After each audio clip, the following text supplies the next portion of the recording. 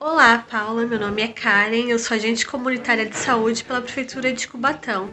Eu trabalho em uma unidade Saúde da Família, que pertence à atenção primária, que é a principal porta de entrada, e é nela que podemos estar solucionando os principais agravos da saúde.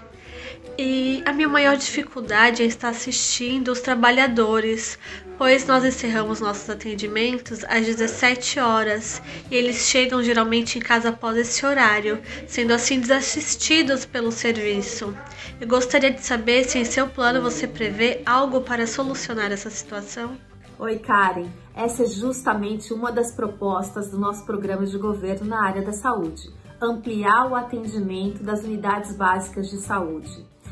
Isso já foi feito pela administração passada, mas foi um projeto que não teve continuidade na atual gestão. Eu quero resgatar essa ideia e ampliá-la para garantir 12 horas de atendimento, das 8 da manhã às 8 da noite, em todas as unidades básicas de saúde da cidade. Porque realmente os trabalhadores não têm disponibilidade durante o dia para buscar o atendimento, eles precisam de um atendimento pós o horário comercial. Com isso também a gente resolve uma injustiça entre os profissionais de saúde, porque alguns têm é, redução de jornada, outros não. Nós poderíamos, como regra geral, estabelecer dois turnos de seis horas para os profissionais. Com isso, a gente garante um atendimento ampliado aos usuários e garante também a valorização dos profissionais de saúde.